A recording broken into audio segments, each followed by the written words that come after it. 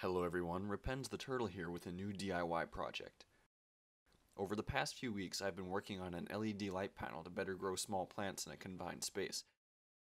Now that I have it finished, I'm here to share exactly how I did it.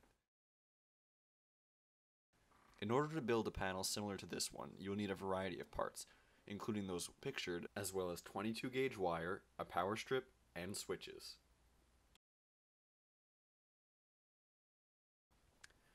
I began by laying out the LED strip color pattern and soldering.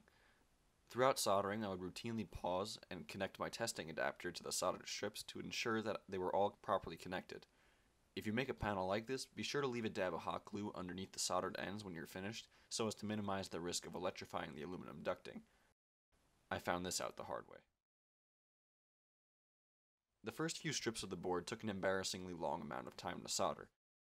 I gradually realized that the soldering becomes much faster when tinning the pads and wires as opposed to one or the other. Rather than sticking the wires on top of one another, I stripped segments of insulation off the wire and then bent it so that the exposed wire could be soldered down.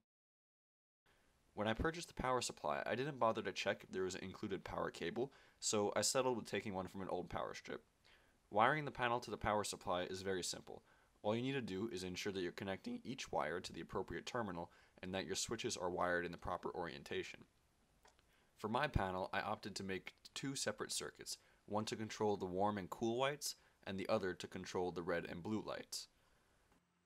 The end product is more than capable of sustaining three Chinese takeout containers of small plants, and the plants I have under the lights seem to respond very well to the setup. When the power supply voltage is maxed out, the lux output exceeds 30,000 lux. However, this is at the consequence of substantial heat production. Rather than burn out the lights, I dialed back the power supply so that it produces minimal heat while supplying sufficient light. All considered, this project wound up costing me around $50 since I had many of the parts laying around. If I hadn't had these parts laying around, it would probably cost upwards of 75 to $100. While this is not a step-by-step building tutorial, I hope to help you to see what is possible with LED strip lighting and that it could hopefully inspire you in future projects.